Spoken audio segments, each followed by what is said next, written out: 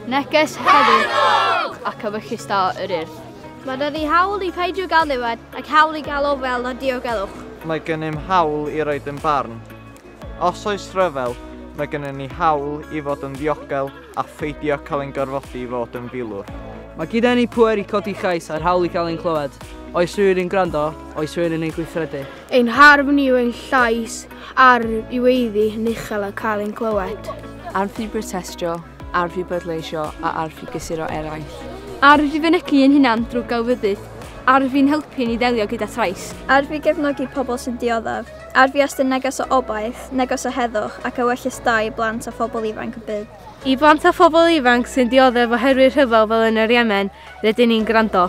I plant a phobl ifanc sy'n byw mewn ofyn o ymysodebau gyda cyllyll fel yr rhai yn Llundain, rydyn ni'n uno gyda chi. I blant a pobl ifanc sy'n saffu dros yn hawl i adur heb yn ofyn i gael eich saffu fel yn y America. Rhaid ni yn glywed. I blant a phobl ifanc sy'n cael ei gorfodi i ymladd mewn rhyfeloedd yn lle cael addysg. Rydyn codi'n llais ein harf Mae trais yn annog trais fel mae cariad yn annog cariad a chwerthin yn annog chwerthin.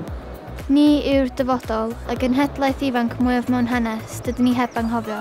Mae ffant a phobl ifanc Cymru yn sefyll gyda ffant a phobl ifanc y byd. Yn galw ar y byd i wrando ac i weithredu yn erbyn trais a'r hyfel.